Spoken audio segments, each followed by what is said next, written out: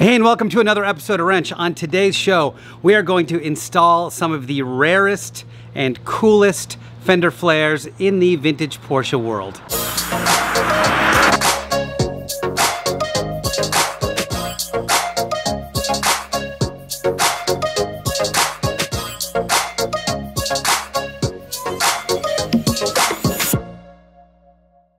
Behind me is a 1971 Porsche 911 ST Tribute, owned by my buddy Rob and built by TRE Motorsports and Dave Buzoglu.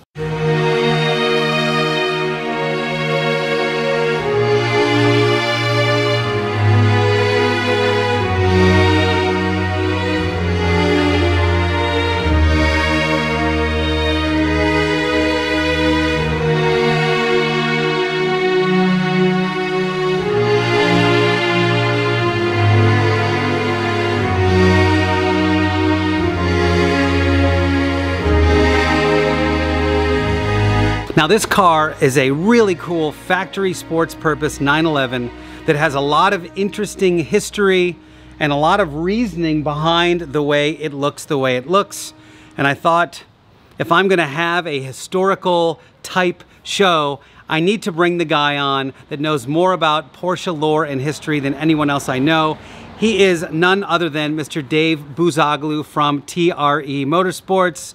Dave, hello sir. Good day, Michael. Thank you for being here. My pleasure. You have built this amazing 1971 911 ST. Can you talk a little bit about what makes an ST an ST and why it's an interesting vintage Porsche? Starting in 1970, Porsche wanted to start really competing in the rally scene. So taking their lightest car, the 911T, they homologated it for rally racing by adding what was called the Rally Kit, and they had the Rally Kit 2. And the cars were not flared back then in 1970.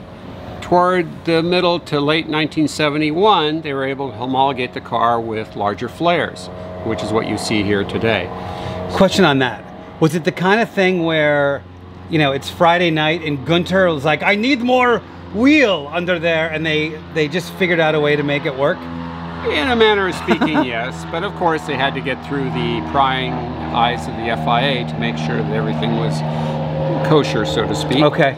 So they ended up going with uh, an extra two inches in the front extra two inches in the rear and the wheels that were available at the time were really not that large. You know you could you get an eight inch wheel uh, they wanted to go with nines. Those came along a little bit later. So at first they couldn't have uh, the Fuchs wheels like you see all the way around here today on this car. Uh, they had Fuchs wheels in the front and Minilites in the rear. Because right, because they were wider. They were wider. They didn't make a wider Fuchs wheel, you know, wider than an 8. So They ran 15s? 15 inch wheels yeah. all the way around. Uh, tires were primarily by Dunlop, you know, at the time. They were a factory uh, supporter, you know, for yeah. Porsche and the cars are meant for competition and mainly for rally and hill climb and then of course go for the endurance races like Le Mans, right. you know, Spa, etc. The thing is with the the ST flares is four people could bring their ST actually four people could bring their factory STs and they could all have different flare setups on them. They were all hand hammered. Yeah. Okay. They I'm sure they used an English wheel or I guess you want to call it a German wheel. Right. But anyway, they used their English wheels and their hammers and they pounded these out and they welded them on you know to the cars they hmm. were meant for competition if you were to see the original cars up close and personal that have not been restored you're going to see some a little more lumpy than others the wheel openings are slightly different in all four corners so it, it's pretty unique they're kind of rounded which is Very what round. i really like about the the flares they're yes. they're not quite RSR. They're not quite wide enough as to have a really, really wide 11 inch flare. Correct. Is it a nine? It's actually a nine inch flare in their terminology all the way around. So nines and nines. Interesting. Okay. But again, they would run a seven on the front and a nine on the rear regarding the wheels hmm. because of the tires available that they worked with at the time. And, and because sometimes those tires were a little bigger because they were doing rallies, this front flare in particular has a more like opened um, wheel opening than like a stock 911 would. It's quite elongated. Because of the really tall tires available at the time, 25, 26 inch tall competition tires, are hmm. quite wide. You needed quite a bit of swing room to turn the wheels left or right through the range, especially when the suspension is compressed, you know, as you're going over humps and bumps and jumps. yeah. So for that reason, it's Right, yeah, because they need to be turning and the thing needs to compress. Correct. So you need a lot of space. In need a lot that of makes space. sense. It's quite different than the uh, road courses, you know, that Right. they would run with. So if you look at back in the day period correct pictures of these cars competing, you're wondering, gee, those tires look on a bit on the narrow side. They're kind of stuck inside the flare a little bit. That was by design because again, they had this homologated. They had this approved for competition for both rally, hill climb, and of course road racing as well. Well, very cool. Thank you for bringing this beautiful car and and all the work uh, not only you've done on this. If you guys want any, literally any sort of modification, or you've got a stock car you want to make look like a 911R, an RSR, an ST, TRE has all of that in any variety that you want. Meaning you can get a couple of flares, or you can buy a whole kit. You can literally get you know the brown Santa, otherwise known as the UPS guy, to show up with a pallet of parts and convert your entire car. Or you might need that weird washer from 1972 that was only available that year or whatever. But you guys can do it. all that stuff. You got it. Very yes, uh, the link is in the description for TRE as it is on every single one of my Blasphemy Build videos. You just have to look in the description, you'll see.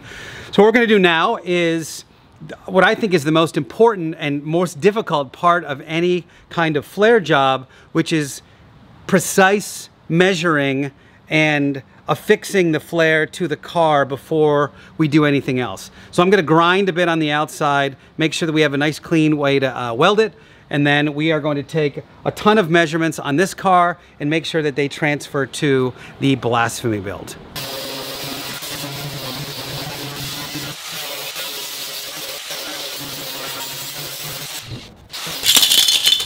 So what we've done is we've made markings on the orange car and Dave is diligently measuring. And we are making sure that our numbers for instance that's 130 millimeters from this corner to this corner. And we want to make sure we duplicate that when we do the front flare. Now in this particular instance the front flare is going to be a little tricky. We're going to figure that out in a minute.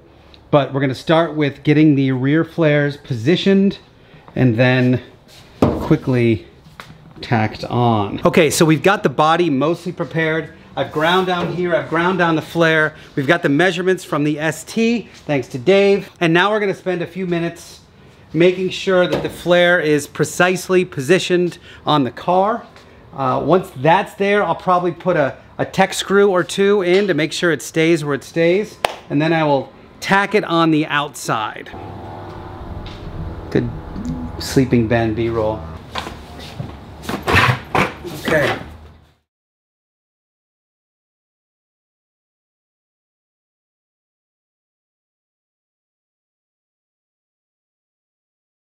Wanna go in? Wow. What? You close? Yeah, within 10 millimeters. Mm-hmm. You want to want to move it back a little? How's it line up with the torsion? You have a piece of pipe. You Pretty close. The end of it. Yeah, I do actually. Okay. Once we get that. Why don't you get your rear correct, Okay. and I will clamp it on this side first because it's an easy clamp. Got it. Use- Yeah. Of course, the pin out there. Okay. Vice grip brand. I mean, we've got a little bit of flex in the Yeah. And the flare, flare itself. which we will measure on the orange car. How many? What, how much do you need to go Quarter for? inch. It's right there. It's within a too. Mhm. Yeah. Okay. So this measurement here is whack. Is what? I'm just taking a quickie here. Yeah. 11 inches. Okay, so we've got the flare precisely positioned. And what I like to do here, there's a couple different ways you can do this. You can use tape. You can use what I call tech screws, which are self-tapping screws. I like the black ones, not the silver ones. Or what I like to do is actually tack the flare on in a few different spots. That enables me to put a little bit of pressure on it, make sure it follows the contour of the car itself. And then if we need to make adjustments It's a little harder, obviously, but we've we've put a, a fair bit of work into making sure it's positioned correctly. It's probably 90% of it is getting the positioning right. Um, and then I will tack this thing on and I'll show you guys what the rest of this thing looks like. This measurement, Because if it's, if it's, if we're in the ballpark, and it doesn't make any sense just send it. Good job? Yeah, a little bit. Okay. Oh yeah. It's a little off, but it, it'll Yeah. it'll settle in Yep. once it's cut. Mm-hmm. Looks like it's not right. Because there's so much warpy tension Mm-hmm. on here. Like it flattens and it comes up and kind of Goes up again, a little yeah. bit. What about removing that tack there? Yeah, this one right here. Yep. Yeah, this this one seems wrong. Question is, do you think the move could be, do we cut through this one first and make sure that this measurement is spot on, right? And then release these other ones, because this will be affixed in the That'll be corner solid, when right. it's parallel and correct. Mm-hmm. That makes the most sense. Looking at it from the front, Yeah. the angle at the back is good. It's Yeah, good. it comes in a little bit, right? Yeah, it's real good. Okay. Give yourself a squat and look at that. Squat down. Look down from, from here, maybe, where you can see the side. Mm-hmm. Right here, right through here. Look at the look at the angle of that. Yeah, it definitely looks like it's going It's up. it's looping. But how the heck do we fix that? You no, no, still it means have- there's a twist. It means there's a twist. So, if if if you were to twist the front of the flare this way, this end goes like that. So it's this that's happening. Okay, well. So right now it's twisted like this. Okay. Correct. So the front end's being pulled and this end's popping out that way. Yeah, like that.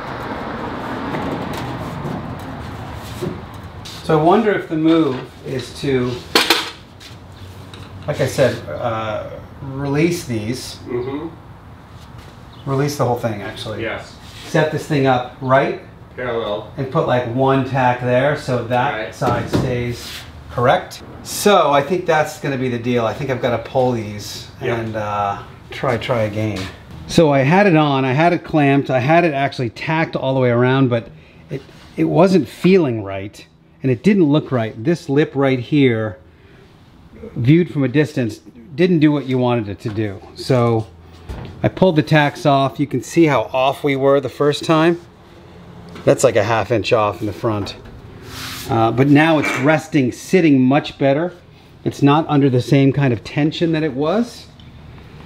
And I feel much better now about, again, sort of tacking it on and, and keeping it where it is, getting it basically done on the other side as well. So we've done a lot of measuring. We even used the laser level to try to make sure that each side was consistent. And it appears to be. So once again, I'm going to put, I have one tech screw in here and a couple of clamps. I'm going to put a couple of tacks in here. This one's laying down way better than the other side did. So maybe we're just getting better at it. Or maybe these cars are completely different from car to car and side to side and day to day. That could also be.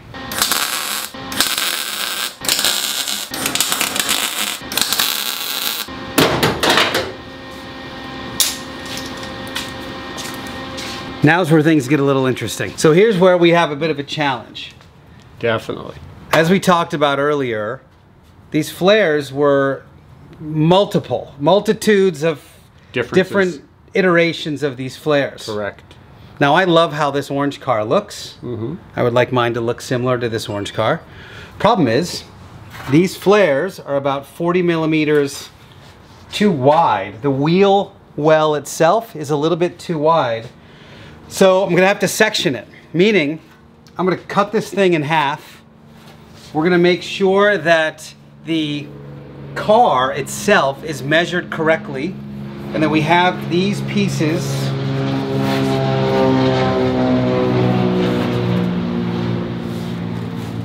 So what we're gonna do is make sure the car itself is measured correctly and we have the important parts mounted in the correct spot, meaning we've got the right gap here and then the right gap on the other side, which will cause this piece to overlap because I'm gonna have to cut it in half right out of the gates.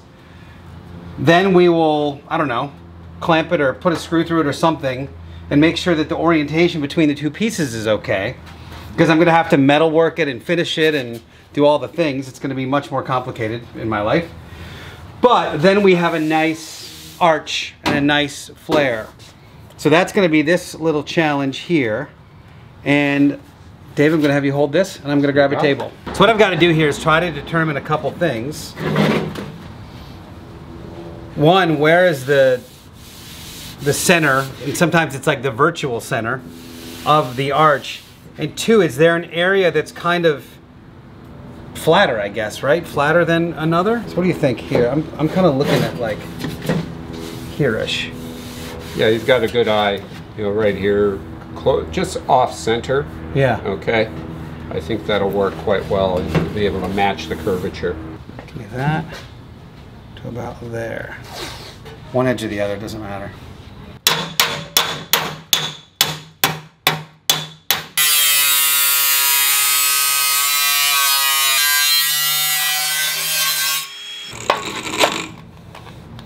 There was once one, now there is two. Okay. Let's see how we did. I mean, this is where it's supposed to go, right? Without even doing any measurement. It's Correct. We'll get each side right, and then we'll worry about Right. setting up the middle.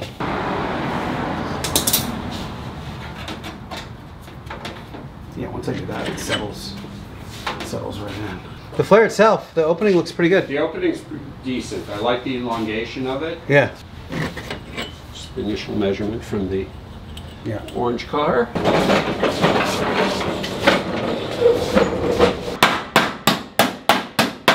You can do. Go ahead and put the front half behind the rear half, okay? So Mm. that way there isn't the tension between Right, the two right, right, halves right, when right. meet. And just see how, okay. Let's see, and then we can rotate Yeah, the front right. a little bit. This piece of this flare has never been good. Right. It's always been sticking out. It's Yeah. not like, it, this needs to be metal worked. Yeah. like a champ. What I'm going to do is I'm going to try to put a tech screw through here and then Okay. get the whole thing on. Okay. And that might enable us to have a a little little bit of Got more it. aggressive wiggle room. Got it.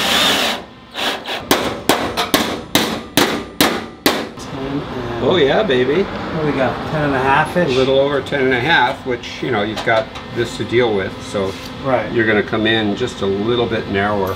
But we're not putting 26 and a half tires in here either. Exactly. We're putting 24s probably. Exactly. Which is what these are, right? So, I think it works well. This has taken some serious brain power and design to get to this point. We're really happy with how the flare sits on the car. It's got a little slight uprising. The the blend is great in the bodywork. So now I've got to make these two pieces equal one. For that, I'm going to do the cut and butt, as you guys know, I'm a big fan of. So basically, I'm just going to uh, use the cutting wheel to come in this way. And I'm going to flatten the two pieces together and tack them in the middle. And I'm going to do that all the way up and down this thing until they have a perfect butt weld. Once I've done two or three of them here, I can release this tech screw to do the other parts.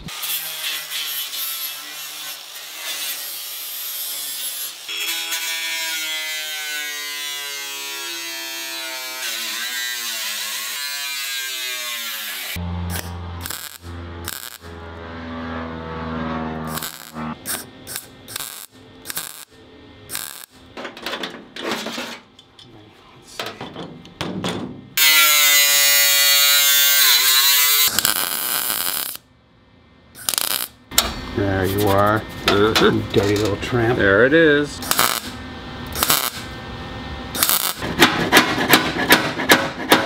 So this piece of brass helps you from burning through, and this is very thin right here, so I'm burning through all over the place. Look, Dave, we made a new thing. Use your reference lines, kids.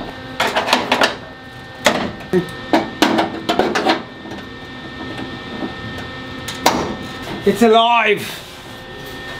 So this thing needs to be body worked and uh, flattened out a little bit. I need to work on this section. That wasn't great here. Get the right kind of dollies involved. Kill this tack right here because it's wrong. It's like overlapping and it needs to be level, but everything else is really flat. Uh, really happy with it, Dave. I think it looks good. Once this uh, lip gets welded up and I can sort of body work this till it's smooth, it's gonna look awesome. And then it's sitting really nice, really nice, really flat on the body itself. And I think that's a good mod, man. I think it came out good. What do you think, cameraman? It's looking really good. It's very level. Well, you've got your symmetry right. Yeah, this And like came you, out s- nice. like you said, you've worked the uh, welded area, so Yeah. it's nice and flat. Yeah. It'll be good. I think so too. So, that is, well, at this point, I'm going to kick Dave out of here. He's got things to do instead of hanging out here in the garage. Come on in here a little bit, Dave. Uh, what do you think of the progress? What do you think of what we did today? We got three out of four done, at least placed where they're supposed to be. Um, to, to get a car looking like the orange car that's in all the magazines, it's been an excellence cover model, right? Yep. Um, European car, Yeah. It's just, it's French just killer. magazines. Yeah. it really does require this much attention to detail and and uh, I don't know how many times we measured today. A hundred. Yeah. You know, a hundred to get to get these things right because you know why? Because people like Dave are walking around cars and coffees going, yeah, that uh, that That's flare's right. wrong. That's that flare's right. wrong. You can tell it's three millimeters proud. uh, so anyway, dude, thank you so much. Um, I'm gonna give you guys a treat now, and I'm gonna let you hear and and listen to this thing as it goes out of my neighborhood because it is something to behold. Thank you, Dave. I appreciate your time Thanks, as always and all your expertise. it. And uh, you guys stick around for the rest. I'm gonna finish buttoning up at least this one flare and uh, probably do the other one off camera. But I wanted you guys to see the process of, you know, getting something so permanent and so important on the car. Thanks,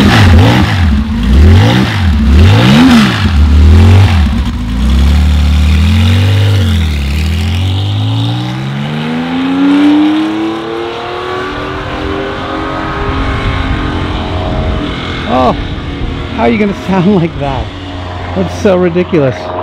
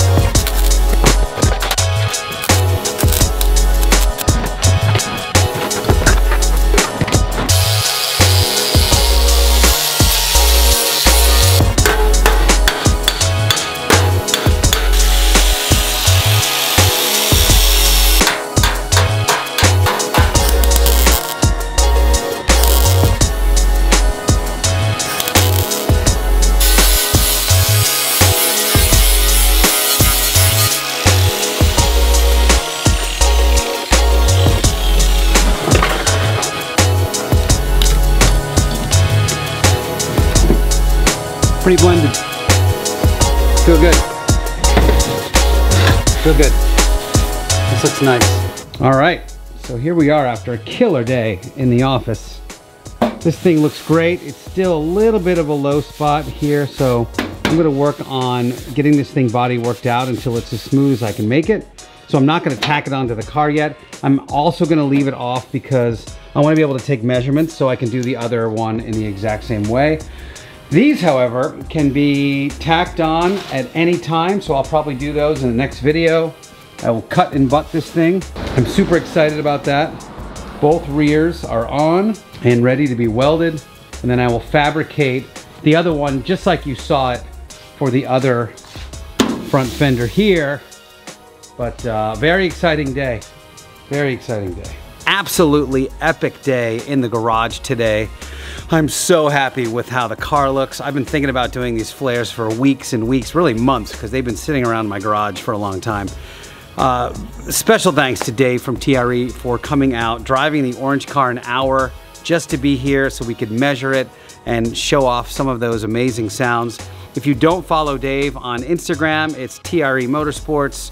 Go to their website, tremotorsports.com. If you really want to see how much of a true baller Dave is, go to the Pelican forums and look for TRE Cup. It might be an underscore, it might be straight one word, but he has more knowledge about these cars and their origin and history and racing heritage. It's just so cool. So can't thank him enough for coming out. Anyway, that's gonna be it for the day. I will probably turn the camera on tomorrow when I continue to work on these rear flares, getting them tacked in, and uh, hopefully make the other front flare, and then we are this much closer to getting this thing dialed. All right, we'll see you next time.